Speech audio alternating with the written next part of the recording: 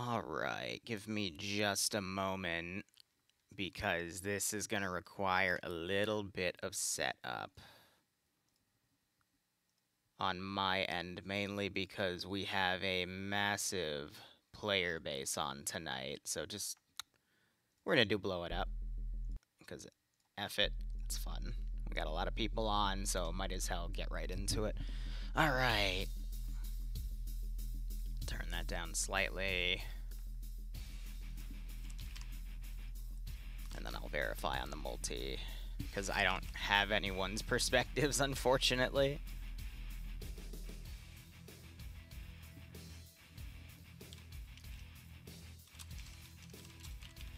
Actually, that's side chat, so it's not going to matter. Wah. Ah, yes. Baranow Winter from the IFA mod pack. This is to be a fun one.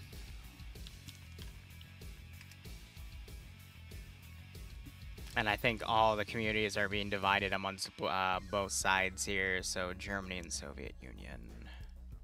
Yep. Just verifying the flags. So we've got, for this OFCRA match...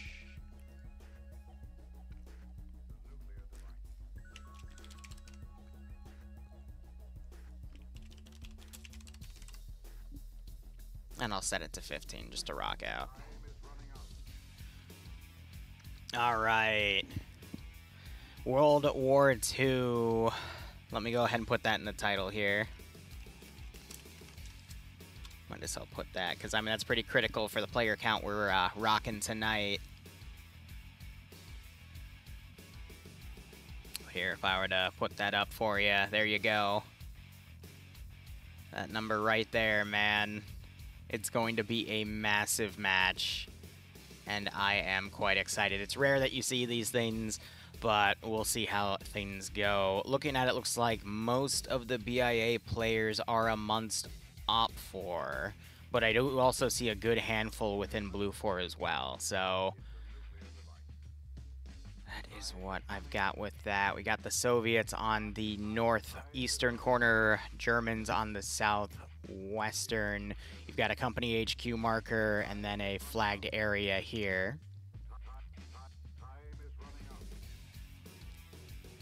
Uh, Shadow, I'll be handing out the IP for everyone that slots in my op later, uh, after this though, uh, so I'll hand it there. But anyway, here is how the operation is going to go in terms of point scoring for OFCRA, because, uh, I mean, I doubt we're going to see an entire side get wiped, but hey, anything's possible. So, uh, the village here marked as Velikai Luki. Probably butchered that. And then you got the uh, company fob there. Uh, both are worth four points by the end of the 90-minute round, so whoever has more infantry in either area are going to gain those four points. Uh, BLUFOR has to have the village still under their control by the 30 minute mark. That gains them additional four point. And then five or less people by the end of the game for either side. Good God. And then the Soviets still have to control the FOB by the end. So this is a mirror match of objectives, interestingly enough. Oh, and I do have Ivno reaching out to give me his multi. One second.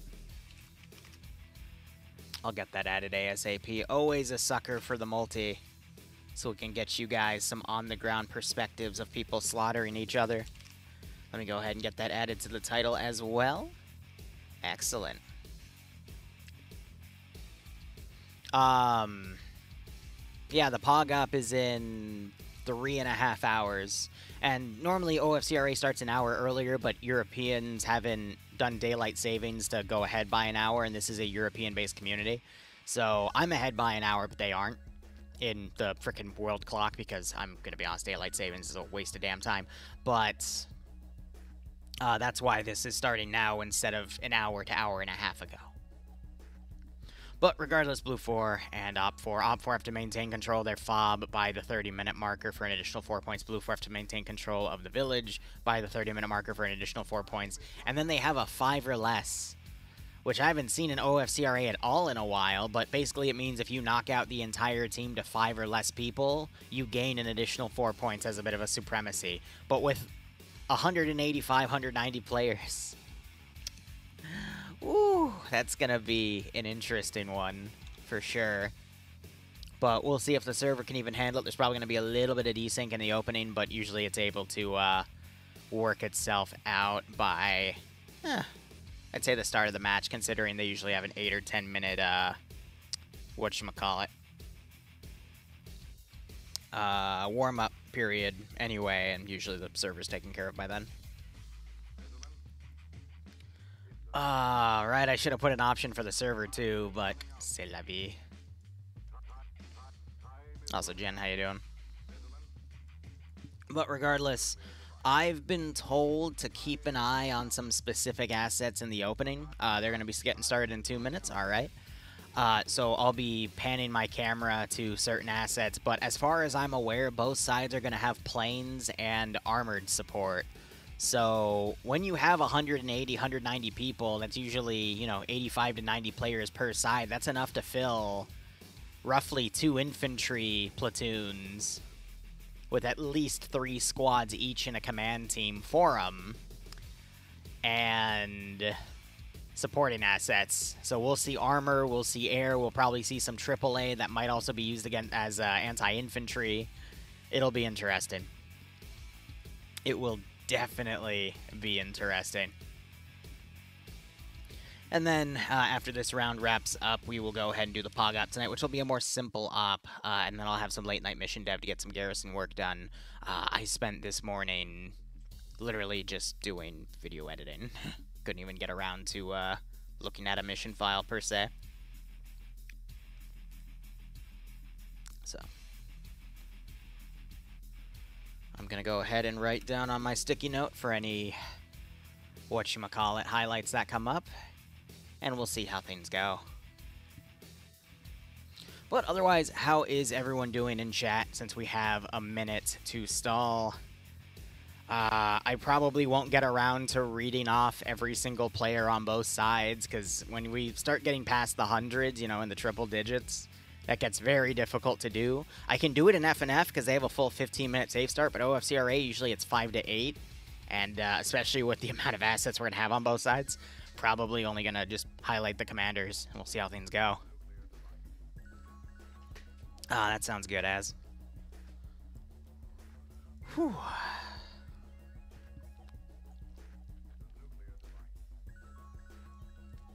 But again, both sides, I wonder if both sides are going to start with forces in the field. They're about to start things up. NASA and Mancho being the, uh, or Manco being the two admins from uh, 19th and OFCRA respectively. And that is the sound of about 190 people being moved into the channel. All right. So let's start in the field uh, for both sides, and then we'll just go through one and the other. So Op 4, we've got a squad already starting with this HQ building. They've got some uh, vehicles built in, but looks like it's smoking, actually. Not sure if that's intentional or if it got clipped in. Maybe it's just for a status effect to add some uh, effects in the AO, but they've added a triple A weapon and they put a bunch of smoke in front of it so it couldn't be used mostly against the village. That's smart. This is meant to be uh, against the aircraft, but it also has some angles to potentially shoot down at the ground, uh, though it can't move its guns down. So I think that's why they intentionally put the sandbags here to block it, so that's smart. And then they've got a ladder and a stairwell over here to pretty much get on top of that position. So I think they intend for the Soviets to use that triple uh, story as well. We have PPSHs, some Mosin Nagants, DP-27s, the standard IFA weaponry. I'm trying to see if they have any like SVTs. Okay, yeah, so we do have some SVTs, uh, the 10-round uh, rifle, semi-automatic weapons there. Otherwise, looking at the Germans, oh yeah, the particle effects are going way into the air, so they've really spaced them out to help prevent lag, but you got some armored battles that have gone off on the side. Uh, looking at the German forces here, they also have air defense fenced around. but looks like they're going to mainly be Kar 98s, MG 42. No, that's an FG. Yeah, that's an FG 42. So these guys are meant to be airborne. MP 40s.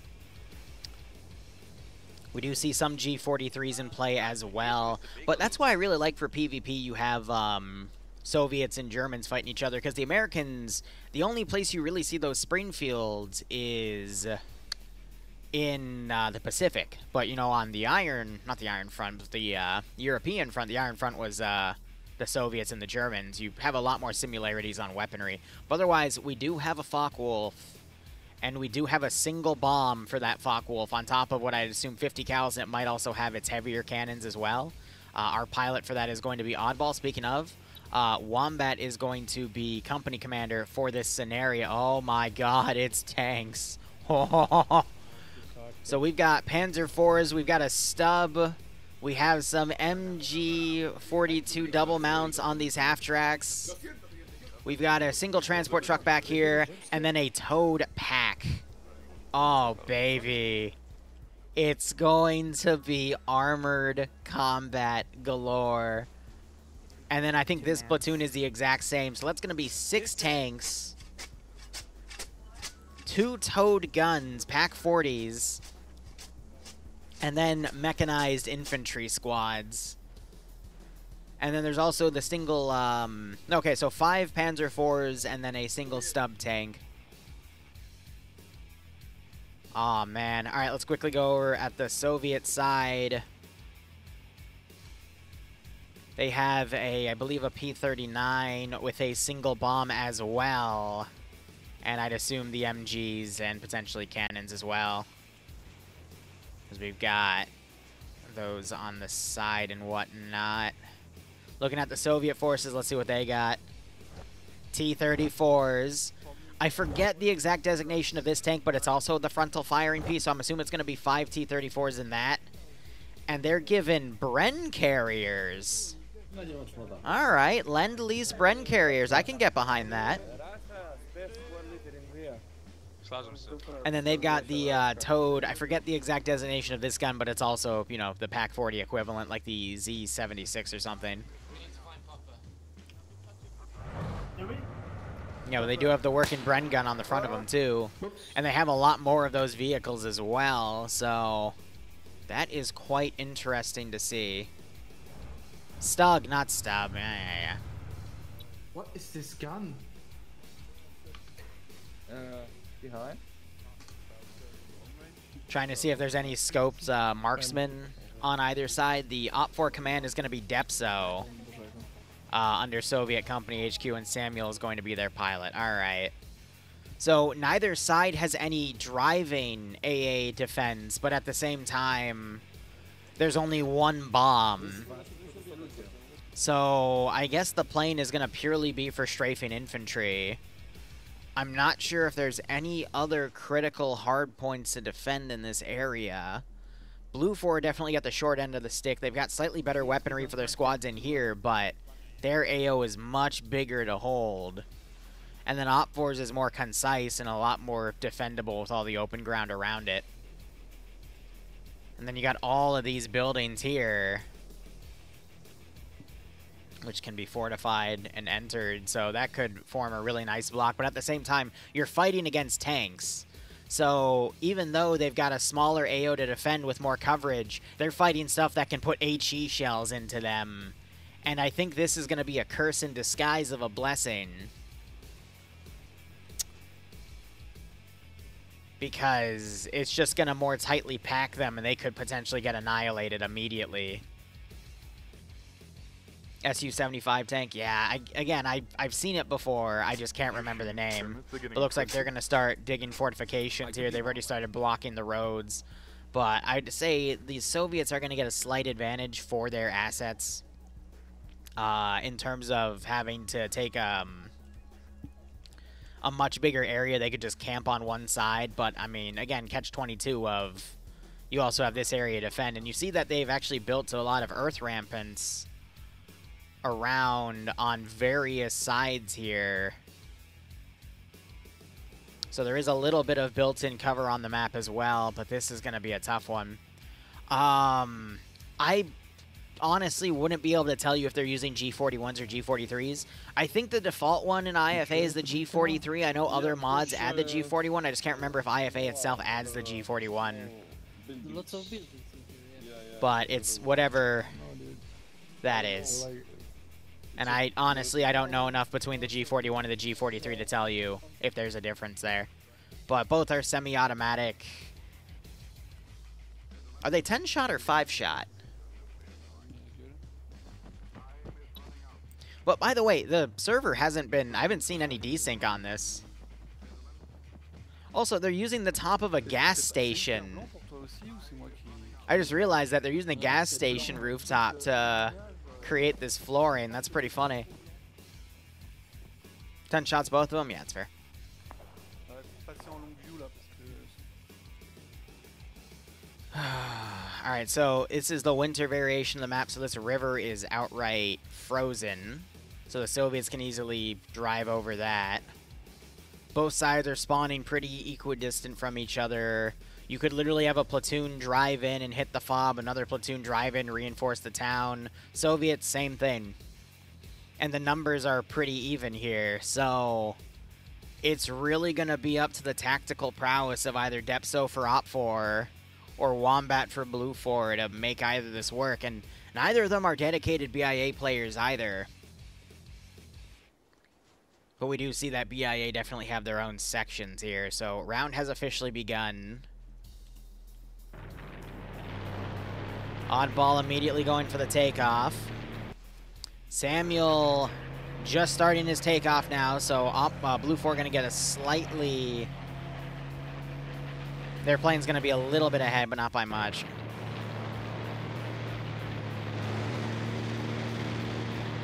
There he goes. And then we've got already Blue 4 moving their formations in here. The second platoon, funny enough, is being held. They're not advancing at the moment. Meanwhile, Soviet forces have half of their platoon, mainly the armor, going ahead. And a little bit of a scuffle in the back. They're leaving a single guy to solo crew one of those guns, but the other platoon is in full swing.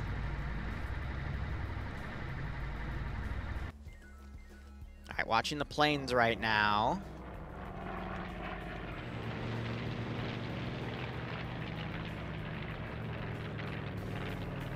So Op 4 plane is being kept in reserve, whereas the Blue 4 plane is already bearing to the AOs here.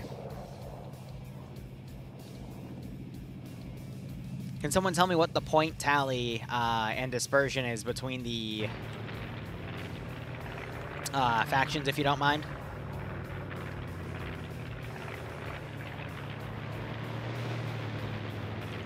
But here's the maximum render distance that they're working with, and here are the AOs here.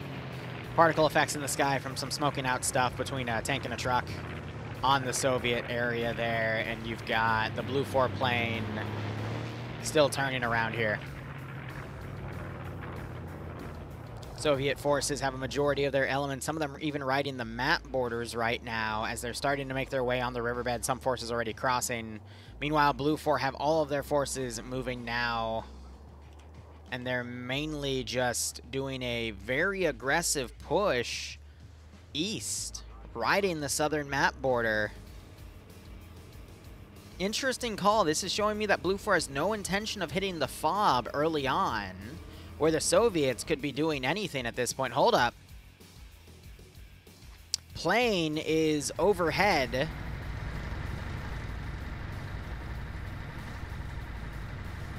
Going at a low speed. Could be getting some scouting data for the Germans at the moment or an early on attack. He's going to be able to see these uh, lights down here as well. You can see him from above. Looking at his POV, yeah, he's gonna have really good eyes. Not even on the vehicles, but on the uh, spotlights. He's radioing the stuff in, though, so he's gonna be telling Blue 4 that a good chunk of the Soviets are moving one way, but with so many assets to track, that's gonna be a great difficulty. Meanwhile, we see the Op 4 plane coming in to do something similar. Again, both are going to have guns and a single bomb to utilize. From Samuel's perspective, Looks like he's just loitering around north of the German spawn here. Hold up, we see a gun run coming in for Oddball.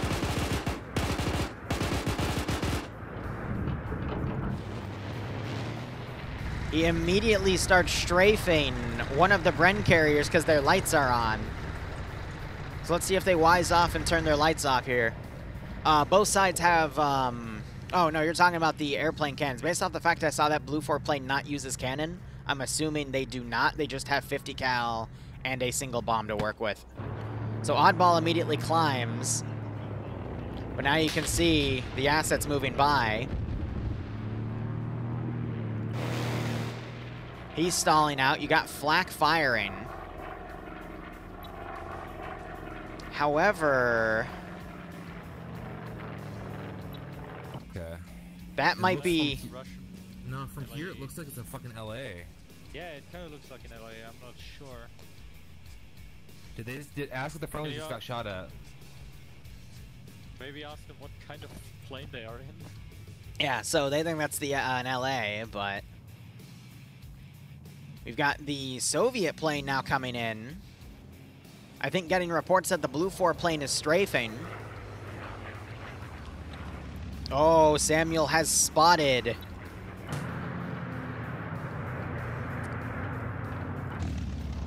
That plane, he's trying to stay above it so he doesn't confuse it. I wonder how the gunners down here are thinking.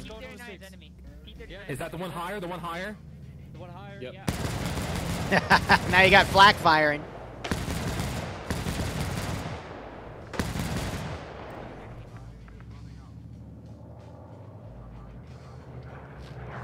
So they're able to properly PID the right plane, but you got Samuel now spinning in.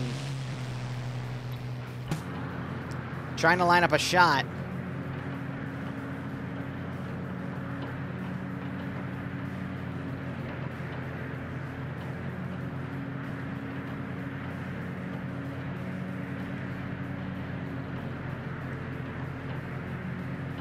He just can't seem to maintain the speed of the Focke-Wulf at the moment. He probably has limited ammo, and he also doesn't want to give away to Oddball that he has a bogey. There's the shooting.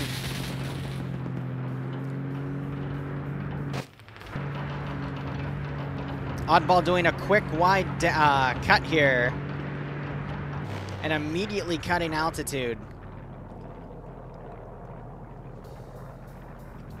And I gotta wonder, he's making these moves intentionally to try to give his gunnery crew Uh, he's doing the Nebel mount. He's going up. Better eyes. Try to- can you ask the Focke-Wulf to try to lead this fucking P-39 in toward the AA? Mhm. That's Ah, a that's good idea, good. bro. Yeah, that is a good idea. But you got the Soviet one now firing.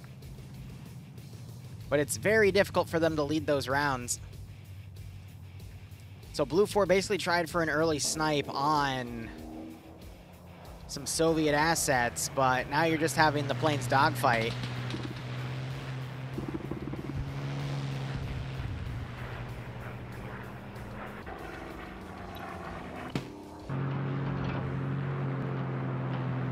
Oddball trying to climb up to engage.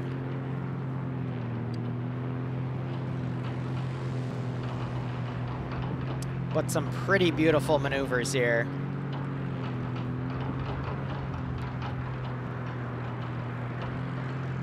Samuel, though, seems to be really outmaneuvering Oddball at the moment. But Oddball's not falling for what Samuel's trying to line up. And the flak firing close, getting some hits. That's giving Oddball an opportunity to get on his tail. Gets another set of hits on. And the plane's still kicking. After two flak hits and a tail hit, I'm surprised this plane's still kicking.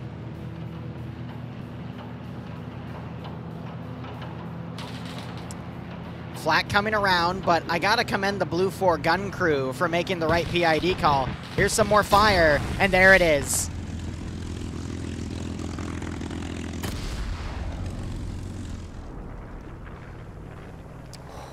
That's always great to watch. Now here's the issue. Blue 4 were hoping to use their plane to get some early snipes on. Uh, but that dogfight has kind of allowed both sides to fully deploy their forces at this point. Hey, righto, Soviet. Hope you keep enjoying everything. Now we have some tanks blindly shelling the AO here for the amount of armor fighting we're going to have between these six tanks on both sides. Technically 12 total. I don't think they should be wasting their ammo at the moment. Funny enough, we do have a wounded guy here. It might have been from... Uh, Lost some blood, he is in pain. I have no idea what caused people to die right here. Maybe the flak gun accidentally fired, but the aircrew needs to be told they don't need to man that gun anymore. He went high. Uh, Oh, Yeah, all right, now they're calling it.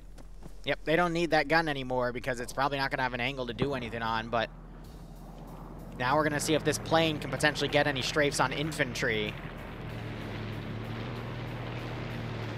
But looking at the ground, we just had a tank shell come in and hit one of the T-34s. Another round coming in. But they're backing up that tank. Next round comes in, it's just short.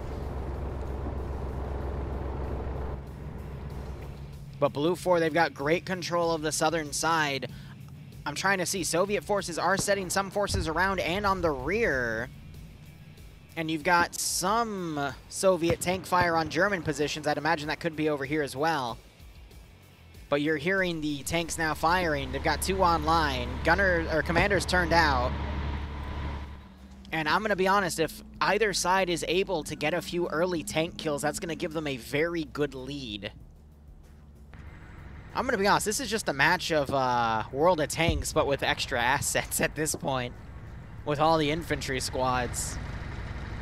Bren carriers uh, for the Soviets, Lend-Lease choice there, I'd assume. Uh, and then the half-tracks for the Germans. Another round comes in. These two tanks trying to look for what's engaging them. If they can sight the target, they should be good. This is technically a tank destroyer, though.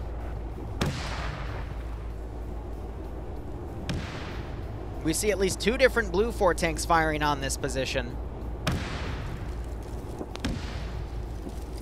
They just can't seem to range the weapons in. And they're falling short.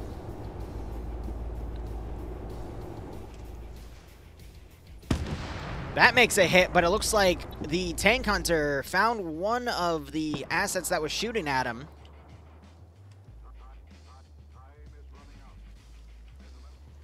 And I'm trying to see, I thought that tree was a smoke billow, but it looks like they're now backing the tank up, realizing they're under fire.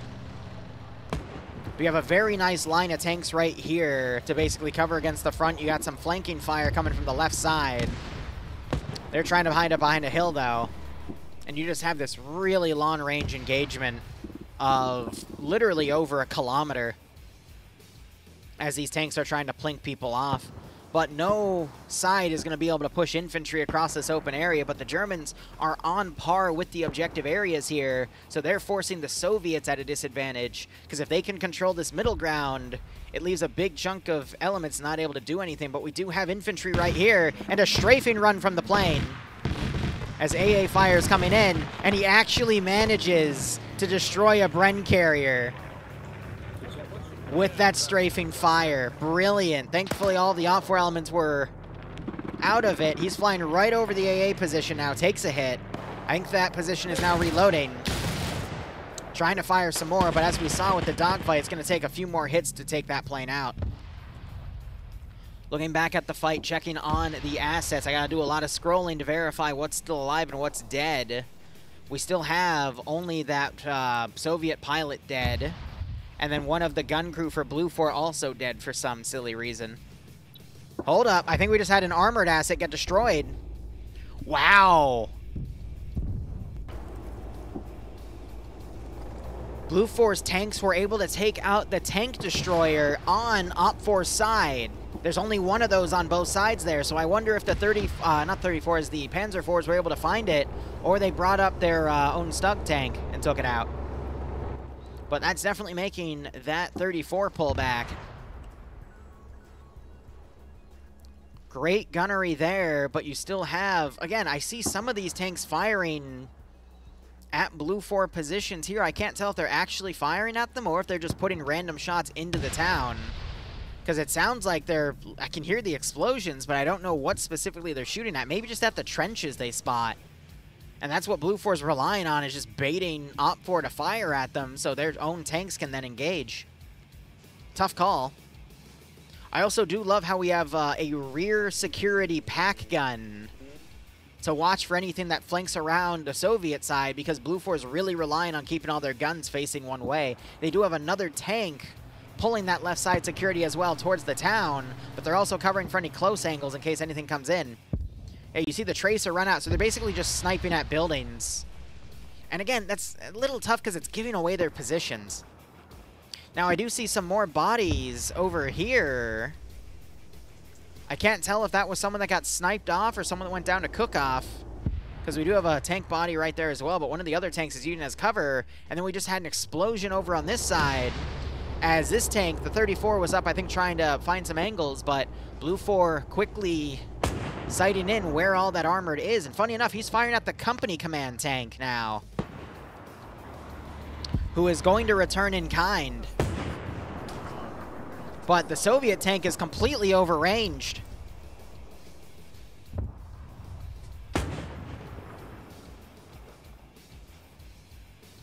And you see them firing more at the 34. I'm wondering if any of the other BLUFOR tanks are going to come up and try to assist in hitting this position.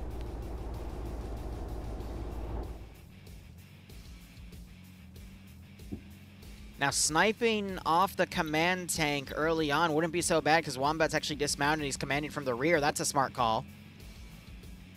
And then you still have the plane going around looking for additional assets to strafe. You know, funny enough, if he catches any of the Soviet commanders turned out of the tank, he could snipe them out. And I find it funny that we have the drive hatch open and the commander out here all just kind of looking around. No way. Wait, he's going to go for a run because they had his lights on. He's going for that Bren carrier. Most of his shots go overhead, though, so he's not able to get it detonated. Possibly got some disabling hits in, though. But he's going for outright trying to destroy the Bren carriers, which is smart. That's going to force OPFOR to be mainly on foot or utilize other assets. And if those assets are caught while moving, that just increases the likelihood that he's going to get a massive multi-kill with them. So he's coming around for another run.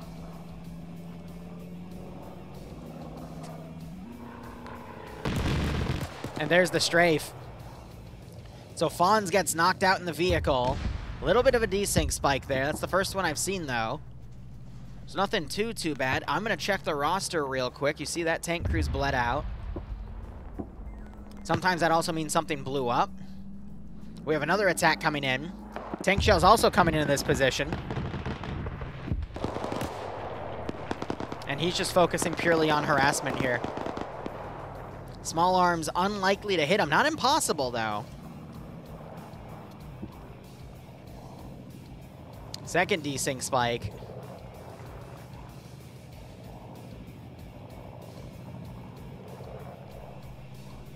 Now the server's struggling a bit. Alright, well, Soviets are in a bit of a bind here. We've got three separate forces. Server's starting to recover, though. It's just really difficult for the Soviets here because the Germans have a really nice defensive line. They've got their forces still in the fob, but this shows they're not going to go for the company fob. They're going to let these uh, assets be neutral. And they're just going to let things play out here. Whereas the Soviets, I mean, we got some stuff on reserve. They could send that in and actually start trying to hit the objective. I think that's the only way they're going to be able to save anything is if they start having their forces in reserve get a bit more aggressive. But beyond that, it's, it's going to be tough to say. But I think uh, BLUFOR plane just came in, strafed that one vehicle. And we've got two bodies here. And the server's starting to recover.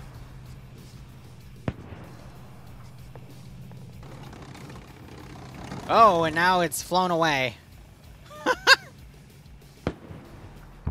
very powerful uh, plane weaponry out there to make those Bren carriers fly in debris, but you got some machine gun fire coming out trying to hit this Bren carrier. We have a DP-27 gunner down right there.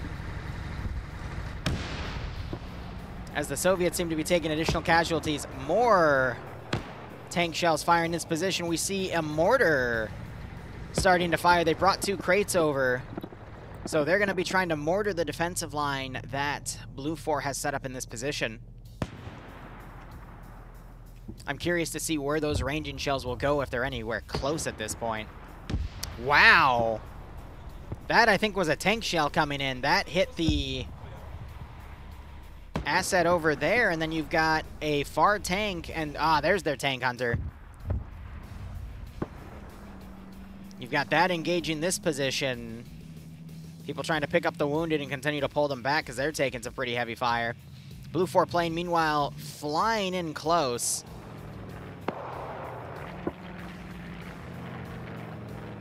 Based on the fact I'm not seeing any connect or disconnect messages and this came in like randomly, like the server was fine and now it's happening, I, I feel like this is a little malicious, but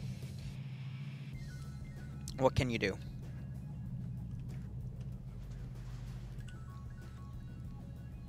There's certain ways certain desync patterns behave, and this one, yeah. And you're saying it's because Harrison disconnected, but I'm still seeing spikes and the aftermath. Okay, they're saying it's the mortars, actually.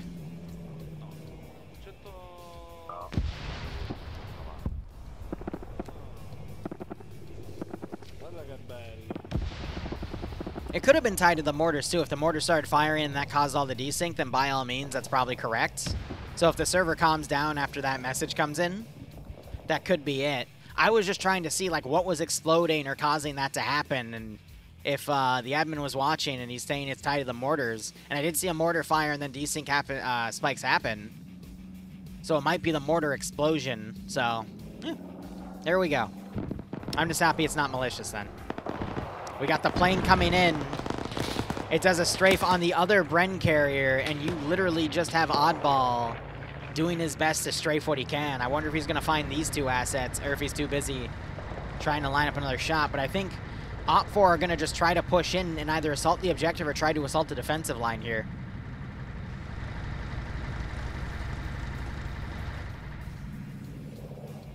Let's look in the eyes of Oddball up here. He's on two kills, the aircraft kill, and then a negative one tank kill. And I think that's just because the Brens are green 4 assets, and it's set blue 4 and green 4 assets together, but he's trying to look into strafe what he can. Hey, Sparkle, how you doing? But yeah, he's trying to see uh, if he can find anything down on the ground to additionally hit. But this plane's been probably one of the most effective World War II planes in PvP I've seen in a hot second.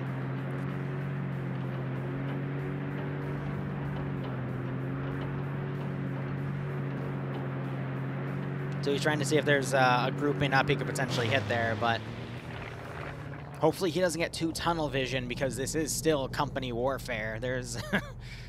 we started with about 185, and we're still at least at 170, all deaths considered. OPFOR down their aircraft and their tank destroyer, but they still have five tanks to work with. They're also down, I think, three Bren carriers. But this match could still go either way. Uh, we're seeing BLUFOR running into a potential problem here because we do have Soviet forces starting to assault the BLUFOR held town here. And even though BLUFOR have better footing right now, if OPFOR play on the objectives, they could still get an early lead, but we do have the plane coming around. It might be looking for more Bren carriers to hit. Might have spotted those two on the road. We'll have to see what they do here. But hello, Victus. How you doing, broski? And Jen Brigg, or Grenbrig, excuse me. Thanks for the raid once again, broski. How are you doing? What were you playing? We're currently covering a 185-player PvP match between OFCRA and BIA, two pretty large communities. And it is a World War II, Germans on BLUFOR, Op 4 are the Soviets. And he's about to start getting some strafes in. There's the shots. I'm really impressed that nobody died. There is definitely someone uncon on the back, but I'm really surprised that 50 cal did not just cut him out, right? Yeah, mortar shell just landed. I heard it in the distance, and then there was a lag spike, so it's definitely the mortars. There's another strafe. Holy crap. That one blows up, and it disables the other one. So a massive multi-kill for the aircraft. And that plane is just going to be bad news for the entire Soviet force that's giving BLUFOR a very early edge.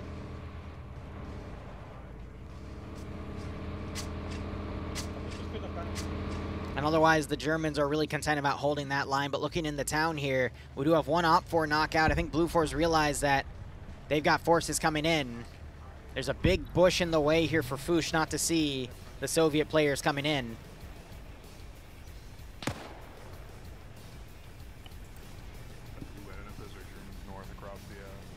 Yeah, they're saying they don't know those are Germans there.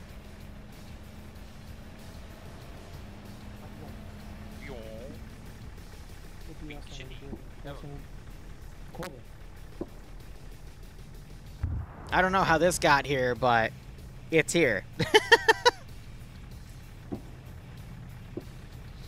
I didn't see a lot of AT infantry on either side, which is all that more concerning. I'd imagine both sides probably have AT grenades, but in terms of actual assets, it's hard to say. They're reporting Russians close. We're hearing vehicles cooking off. Big amount of Soviet forces just got taken out out here by what sounded like an MP-40.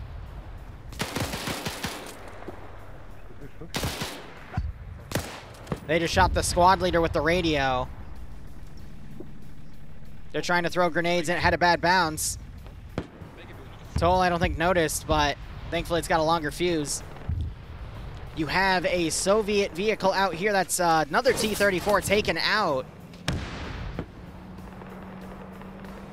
And then I think this was another T-34 that came up uh, on its own, also taken out. So a lot of Soviet armor has gone down.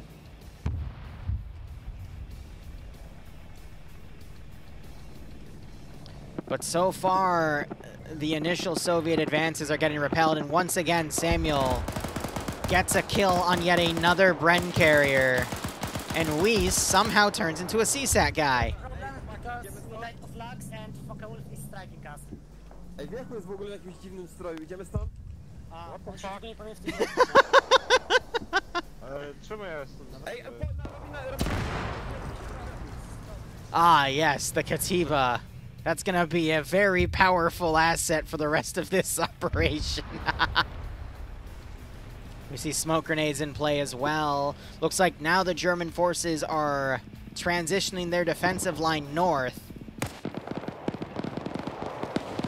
And again, this is an example of someone who really knows what they're doing in a very powerful asset and doing a very specific job. And that specific job is going to be the linchpin in undermining an entire side's operations. Usually we don't see a single asset be this effective, but that is, I think, the fourth or fifth Bren carrier he's smoked. And again, I have not seen an airplane be that effective in an OFCRA match, honestly, ever. So you still got these two Russians here, or I guess Soviets would be the uh, proper term. They're just trying to hide right now as uh, German forces come around trying to figure out what's going on. They might start clearing building to building. Newton coming in.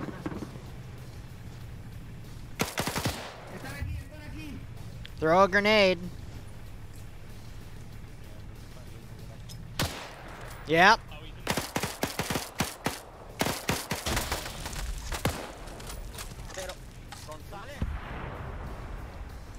You know, it's World War II. The best thing you could do is throw the grenade back.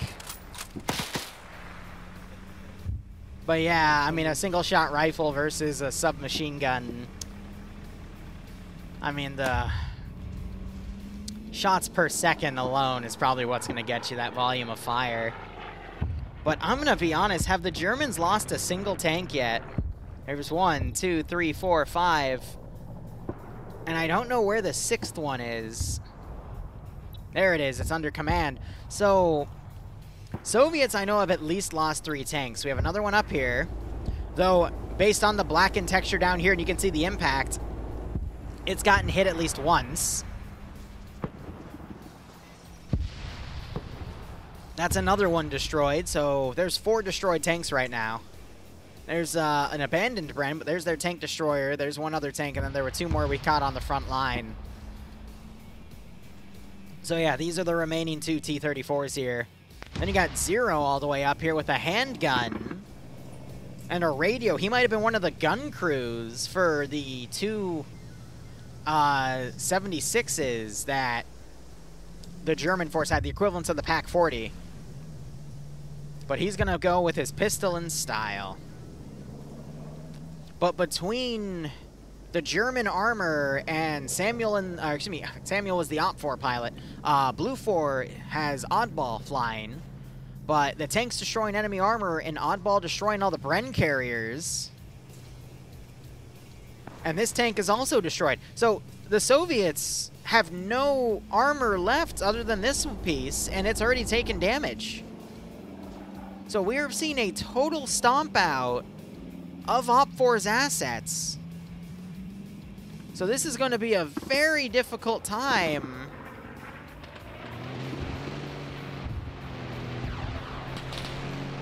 For the remaining Soviet forces. So it's been the 30 minute mark. So both sides gained four points for controlling their uh, objectives. OPFOR were trying to push infantry in to potentially stop BLUFOR from cashing in, but they just didn't have the support because a big chunk of their forces were pinned down on the outside there. And I'm having trouble tracking the plane at this point. And again, like, both sides also have two field guns, which are um, going to be, you know, for fighting tanks. I don't think either side have lost either of those yet.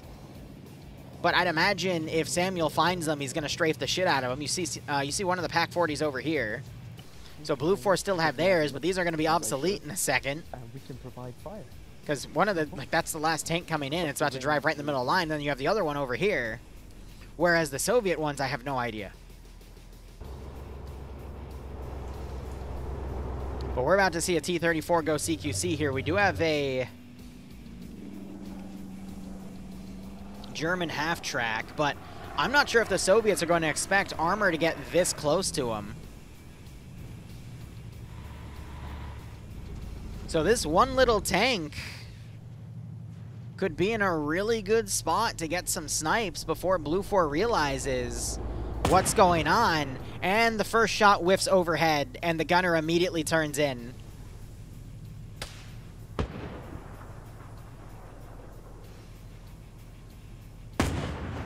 And immediately takes a returning shot. However, the tank, I think, just took a disabling hit, but the other tank did as well.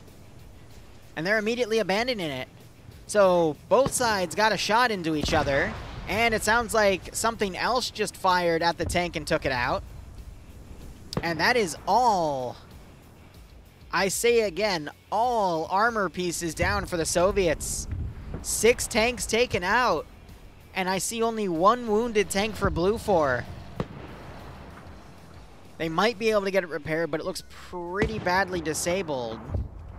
And again, with the Bren carriers getting sniped off by Samuel, I don't really see how the Soviets can get this one. Maybe they can bring all their infantry in and provide a really nasty infantry fight in the main town and still stall for points. Maybe go for a tie game at this point. But at this point, whoever is going to control both of these zones is going to be the winner. Because I still doubt we're going to see both sides get knocked down to five or less. And with BLUFOR still having all their armor assets, it's very, very unlikely that OPFOR is going to get the survival bonus out of them because five infantry is literally going to be two tanks. So if two tanks on BLUFOR survive, that it's fine. And the only AT I've really seen on the infantry side has been nil, which means they probably, both sides have AT grenades because in the IFA mod, both sides have the same textured AT grenade. It's just called something different. So I'd imagine that's what their AT is, but that requires them to be within 5 meters of the armored asset. All OPFOR tanks are dead at the moment. There was one up here, but I looked at it, it was cooked off. Yeah, there she is. It, the only reason it came up on the map was because it had a wounded guy in it, but he bled out. So you also have the entirety of command dead. Depso came up here and got picked off. So OPFOR is commanderless, planeless, armorless, and they've lost a good chunk of their Bren carriers to the Focke-Wulf.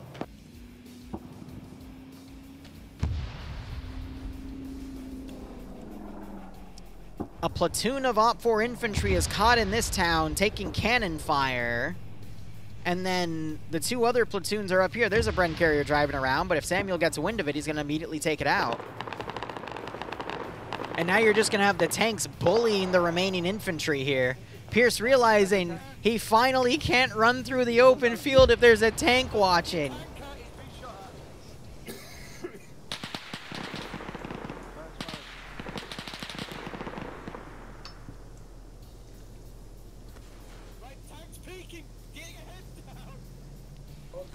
Pierce desperately trying to put some smoke out. Really not abandoning the open field idea. You hear Nuzzy yelling his little heart out. That was an AP shell that just came by. And actually... Wow, knocked Pierce and Fonz out. I think the rest of this match is just going to be tanks cleaning up the remaining infantry.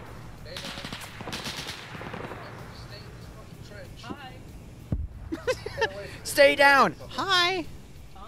You the medic? No. Uh, I am back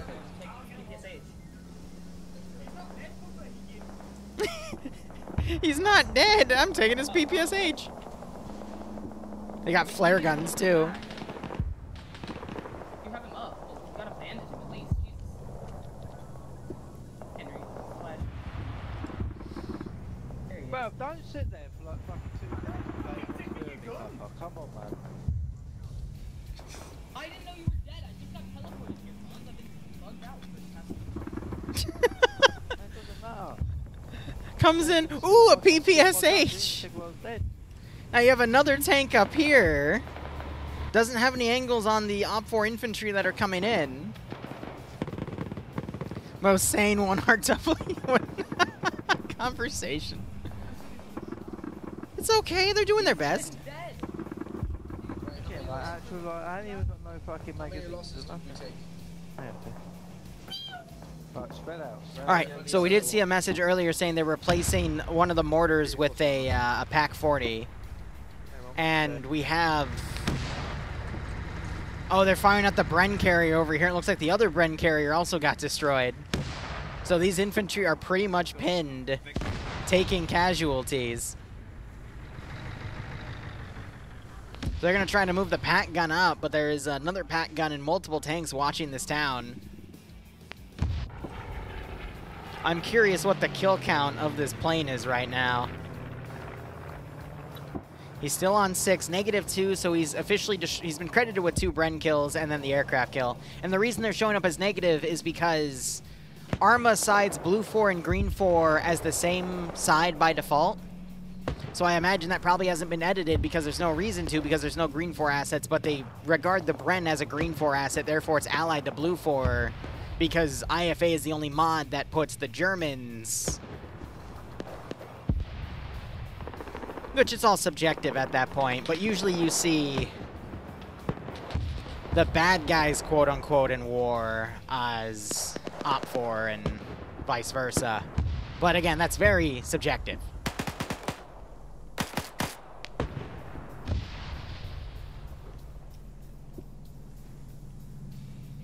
So just chalk it up to how Arma's programmed. So again, I gotta wonder, that tank's on four infantry kills, by the way. If it's gonna, if it hasn't already, and I do see some dead bodies here, start shelling this area.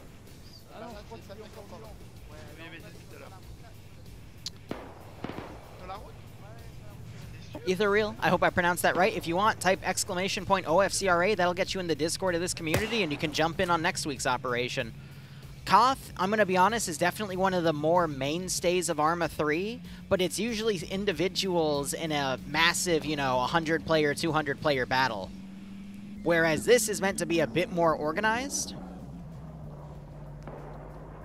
but also usually turns into a Koth style scenario with the insanity that's going on. Oh, these poor Soviet infantry. Look at this man. Oh, he's an AI. That's even better, but he's got night vision. I think the uh, the respawn script's glitched out. This is not 15 meter spacing. The fuck out. So I'm saving everyone, you fucking div. Get the fuck out of. We need to put more. Uh,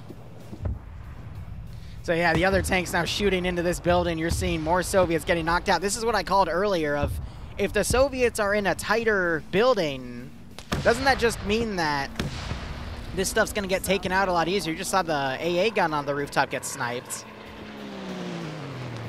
And then you got Samuel flying overhead confirming that that AA gun's down.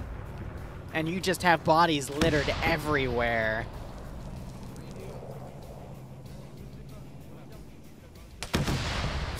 And they're just pummeling this building with HE. You got bodies falling off the rooftop.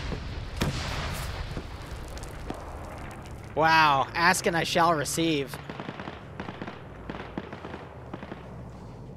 And most of that garrison has been cut down to indirect fire.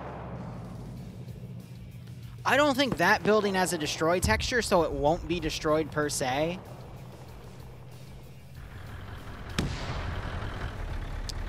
Yeah, how do we get their attention? Let's throw a green flare in front of our fighting position and see what happens. There is a German tank over here. And I think it is trying to find an angle on this vehicle, but they can't seem to line it up. And I spoke too soon. Bren just got disabled. So they have no choice but to try to get on the gun and line up a shot before they're taken out. And the rounds are slowly inching closer. But this poor gun doesn't even know how to line itself up properly. Thankfully, the Panzer's having a really difficult time aiming. They just changed ammo type, so now the rounds are a little heavier, so I think it's throwing them off. That one goes over. How did you land a perfect hit and then mess that up? Oh my god.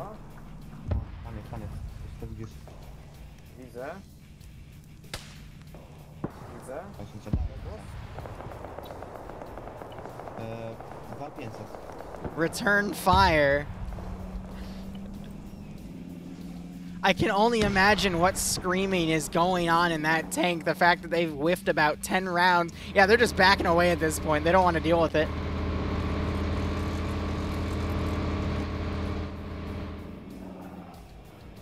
These poor bastards can't even fire the gun versus a team that won't even fire their gun.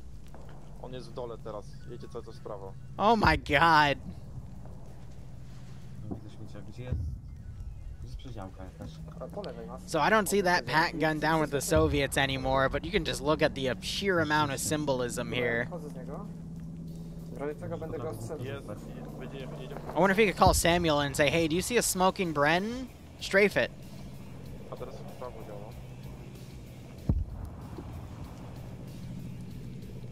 Yeah, as people have been saying in chat, I'm pretty sure the Soviets are actually LARPing as legitimate Soviet soldiers. Prawie zaje- zajechać.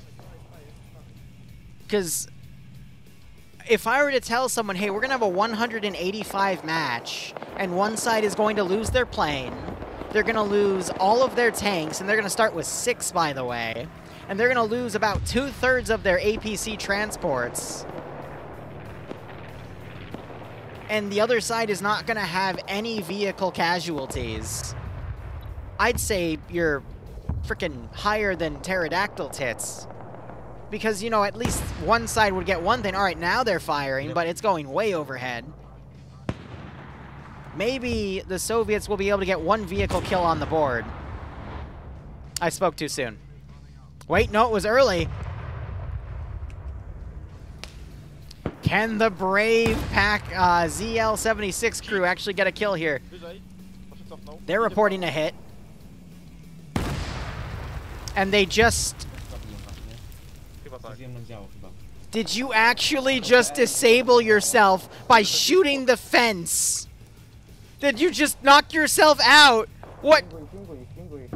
What? Pinguj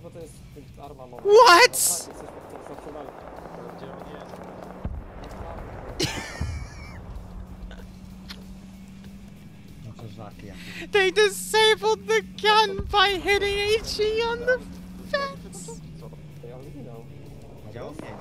I can't. They blow the tank up, so at least there's one armored kill. But they armored the gun. But they didn't even armor it. They hit the I, okay. All right. The Soviets sacrificed their last anti-tank gun to get one vehicle kill. Meanwhile, Pierce, the stealthiest man alive, realizing that the entirety of his community is dead, picking up a DP-27, can Pierce channel his inner Audrey? Oh, those are Germans. His inner Audrey Hotto. As I say that, he gets the first kill. Somehow grabs the. I was about to say, why is that grenade floating? Oh, those are grenades everywhere.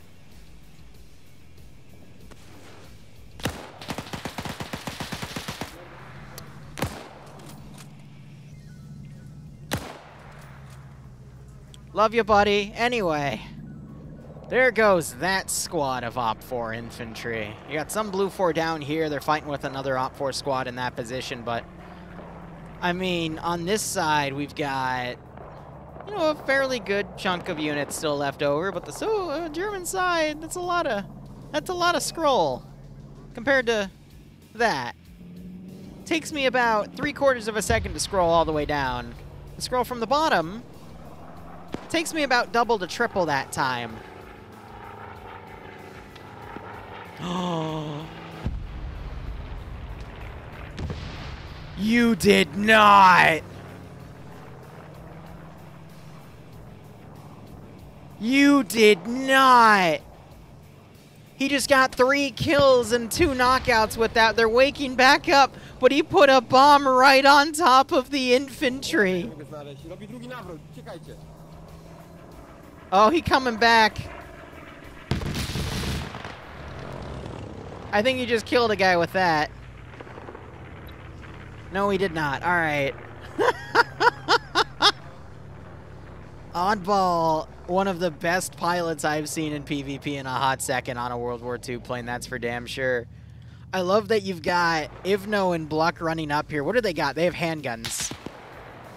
And they're fighting someone with an automatic rifle. Or was that two Mosins that fired at, It was two Mosins that fired at the same time. All right, three Mosins versus two handguns. Oh. No, no, no, no, no. We should pull back. Like, we, we cannot cross onto them. No, no, no, no, we should pull back. Proceeds to get shot. What's... Oh.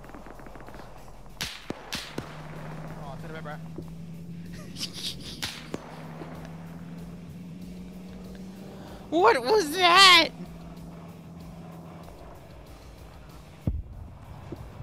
We should pull back. Proceeds to get shot. Classic PvP.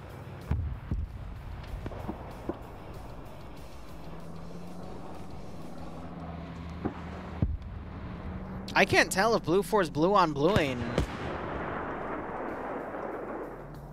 Yeah, they're shooting at their own tank. Or they're shooting over it. I I don't know.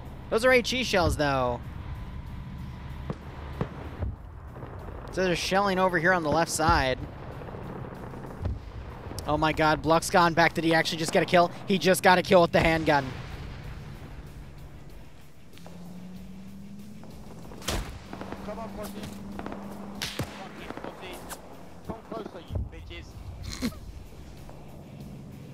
He's baiting OPFOR to come closer so he can have him in CQC where his pistol will have the advantage, and OPFOR is actually falling for it, so they double tap Ivno main. See ya, Warboy. Yeah, I do agree. Uh, I think... I think Oddball had the Panzer Chalk. He just did a strafe and knocked someone out in that church. Not church, the, um, it's not a church, it's a, like a chateau.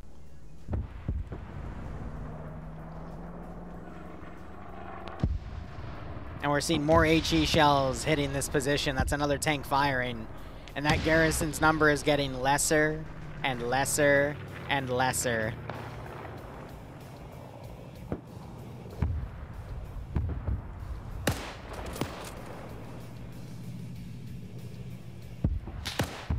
Bluck is literally dodging motion, Mosin shots.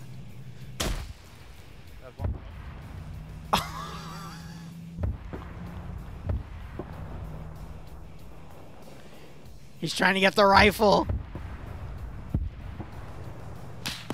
Oh, but Audrey Sip gets him with a pickoff.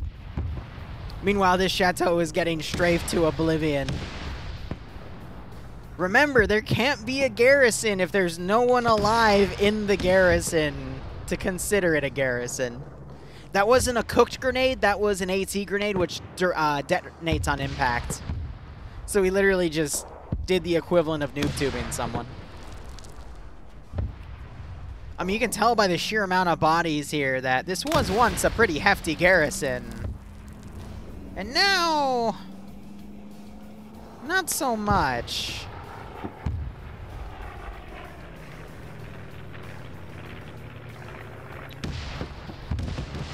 I don't think Samuel's going to have anything left to do in this scenario here because he's he's done his job.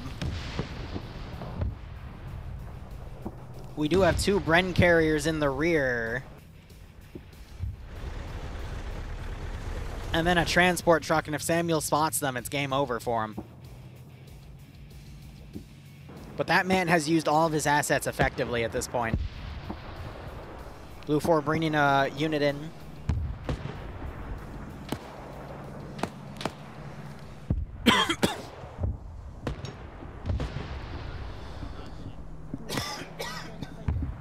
Oh my god. It's a hour and a half time limit.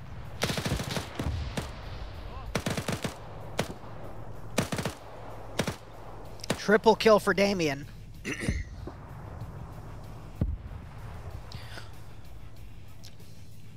Holding out with that drum mag PPSH gets a... nope, he's just spraying and praying, but he does get the fourth kill. Pingus trying to run in to find him, only to get found. Damien on six kills right now, as the shots are ripping the bushes apart. Throws a grenade.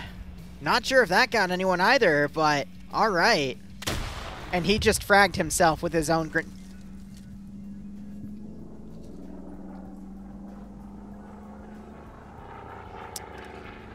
You literally had it. You had it. And then you... I think he threw that thinking it was a smoke, but yeah. Anyway...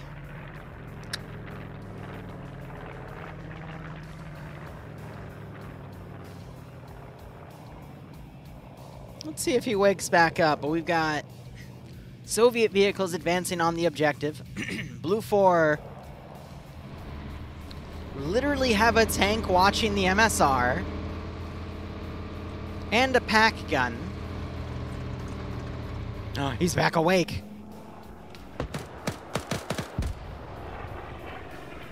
Spraying out at Shadow. Coming over here to see if, uh, nope, tank spotted him.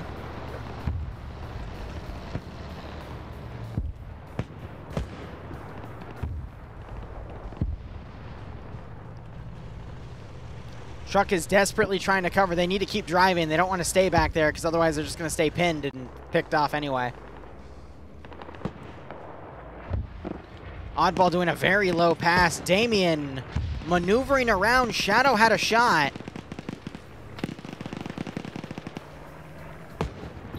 Will this be the end for Damien? It is! As Shadow gets a great quick uh, sight shot. Called it a quick scope, but he's not credited with the kill. Weird.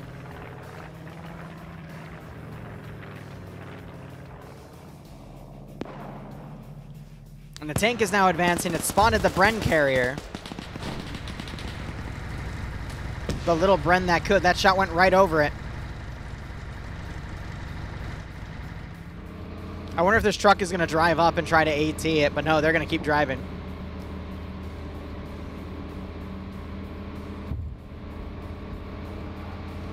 So, uh, German tank goes over a rock as OPFOR is still trying to drive around. PaK gun has been set up to engage the chateau.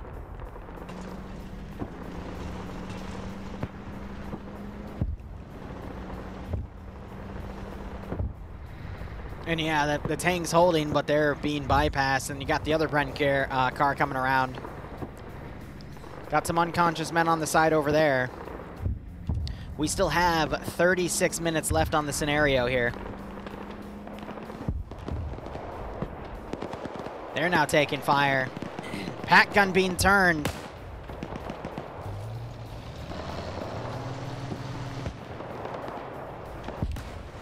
Transport truck driving right in. They're out shouting hoorah!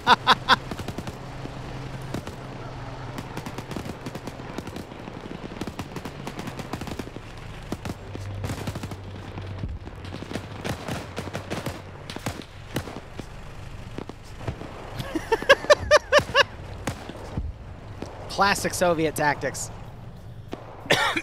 Soviets have uh, been able to garrison a building here.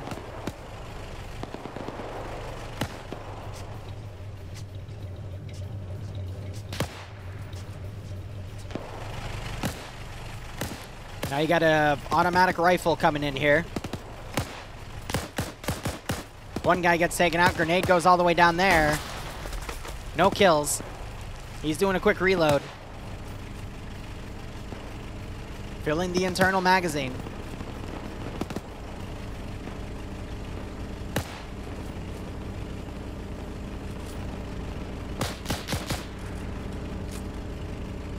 Uh-oh. Man runs out of ammo, but Claw doesn't realize that his battle buddies are getting taken out internally. Oh my god.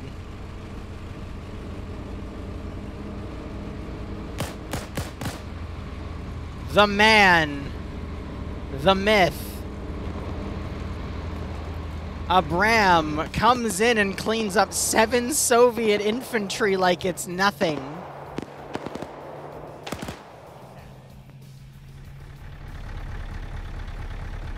And this Bren gun has been, yeah, the Bren carrier is taken down.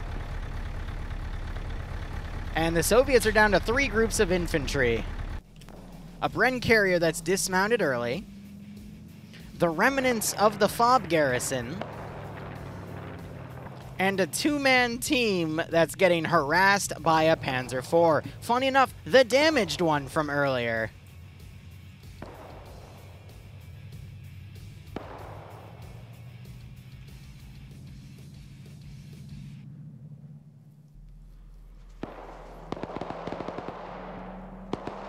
Ay, ay, ay.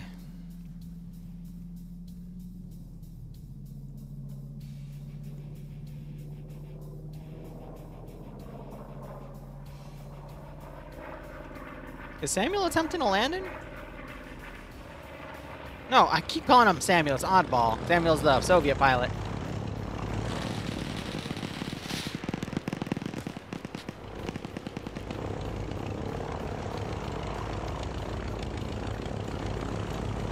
The man wants to land on the ground and get some more, does he?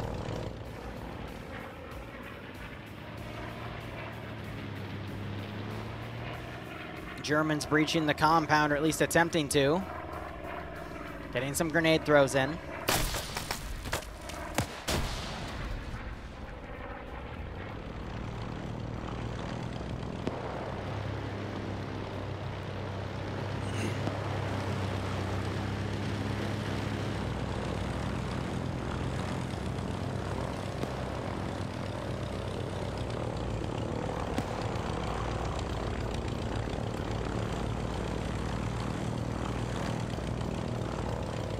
That would be really funny if he turned left and started barra barraging that position with machine guns.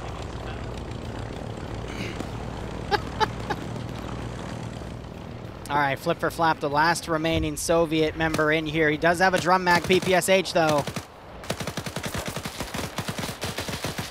NASA pushing his position with that MP40. AT grenades himself.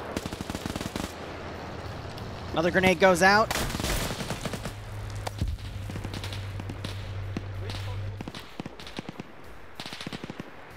Reinforcements entering the main gate. Flip for flap. Can he channel his inner Audrey Hotto and hold out against the massive amount of forces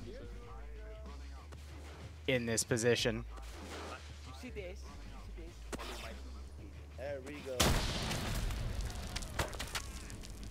That is the luckiest grenade throw I have ever seen. That literally went through three sets of windows and doors to land literally at the man's feet.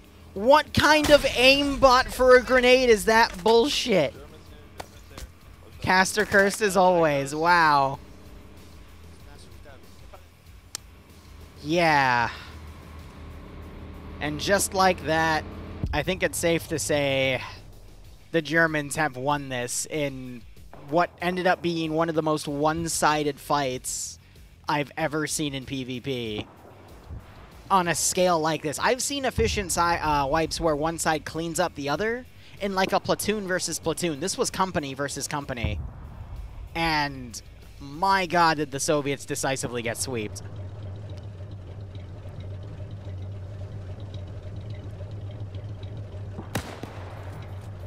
Uh-oh.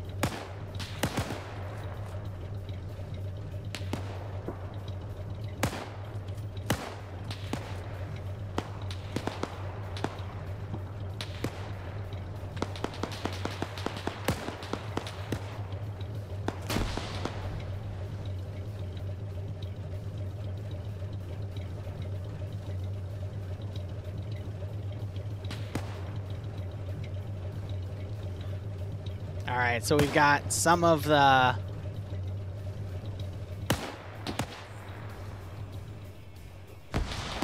You know, you gotta give it to the Soviet players. They actually did a really great job of cleaning up that uh, infantry team around the PaK guns. Unfortunately, this has prompted a German response.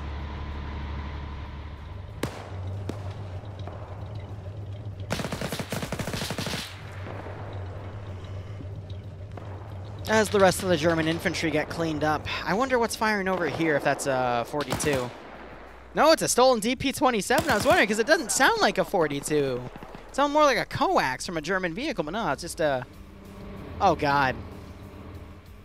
I hope you guys have AT grenades. You're about to need them.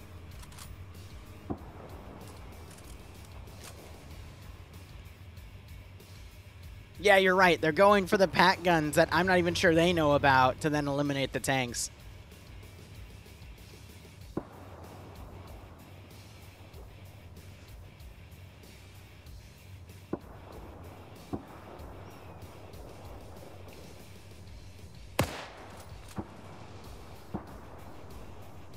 Did he just shoot a commander? He might have been trying to shoot this commander here. Uh, don't ask me what he's wearing. I, I don't even know at that point. Is that a grenade? Ah. Like, shouldn't smoke be coming out of that or something? Oh. Well, maybe it wasn't smart to throw that, because now they know you're here. And they spawned a cheeseburger, but thankfully the tree stole the round.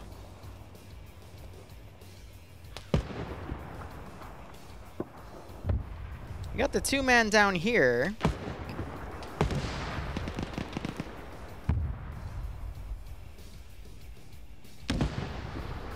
How is Callie still alive? There's a lot of blood. They're going to try to flank around. I'm going to laugh if they actually get on the PaK guns and take them out. This would be huge.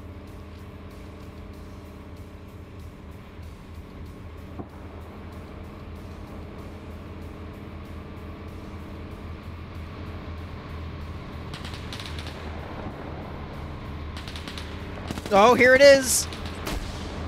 I think it was short. Oh, God, cheeseburger flying. Cheeseburger losing to gravity. what? what was that? Oh. Oh, God. Okay, he's back. But he's still dead. I don't know what happened there, Chief. It was a Houdini trick. Oh gosh, he also made the house disappear. What can Cheeseburger do next? Literally looting his own body. I don't. I think he got respawned after that, but that was pretty damn funny.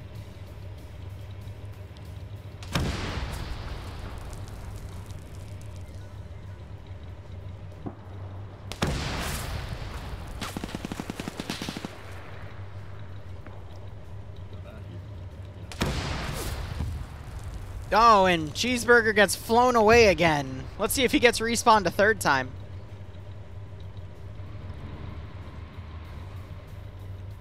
Just do it for the meme.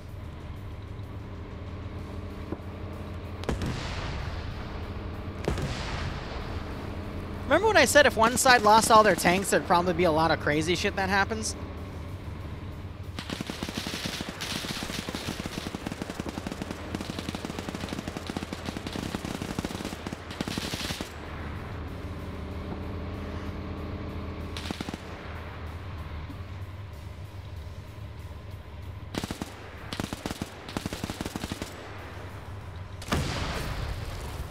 He's playing dead. An effective Soviet maneuver. I heard it worked in a fountain one time.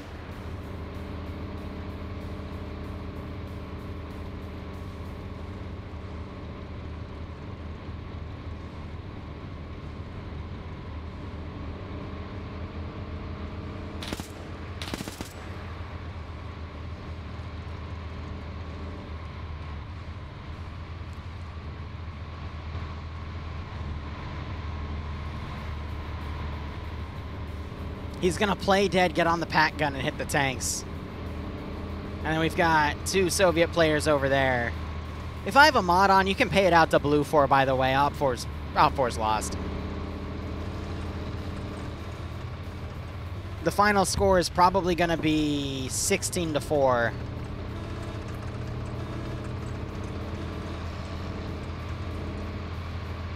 Surprised the rear MG gunner didn't shoot.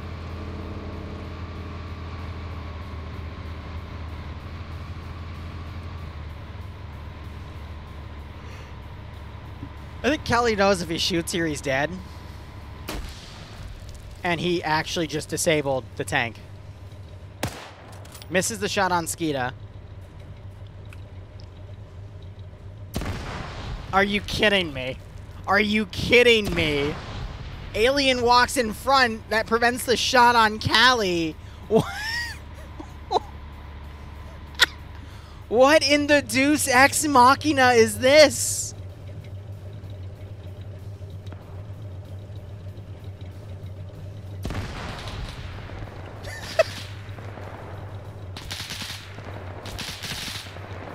And then somehow a DP-27 fires through the bottom latch of the...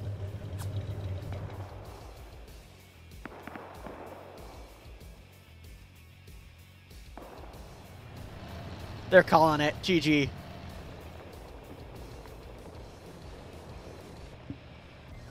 What on earth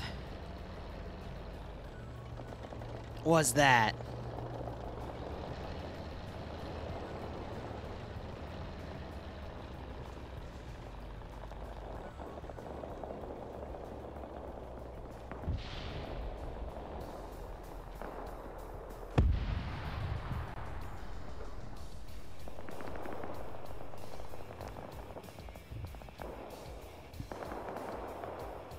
Just following this.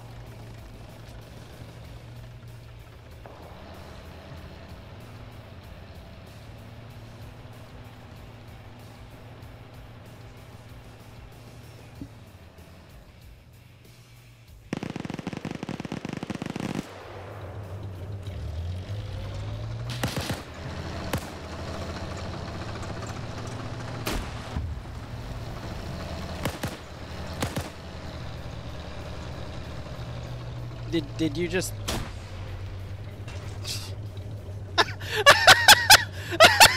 Mine's bigger. no, freaking.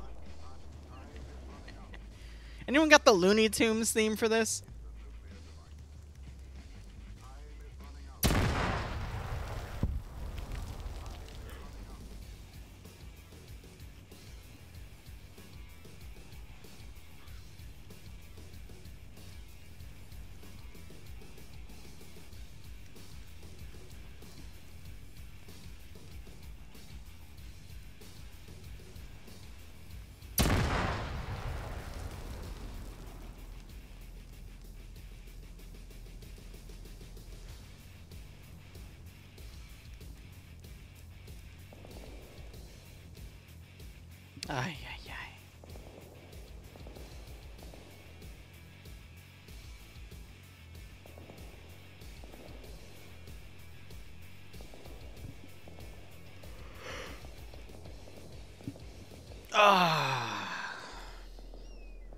He also got the second kill. All right, I'm gonna call it here. It's GG. There is gonna be a bonus round that involves Kübelwagens and a bunch of custom compositions, but Bloodwind's giving me something to do for her real quick, so I gotta go get that taken care of and then take care of the uh, Pog stuff. So, yeah, they're calling out the bonus round right now, but I gotta go take care of that, unfortunately. Nonetheless, thank you so much for watching.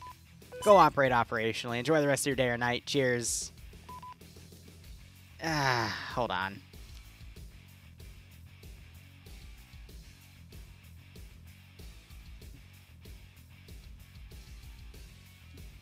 I'm trying to think if I can do this in like five, ten minutes.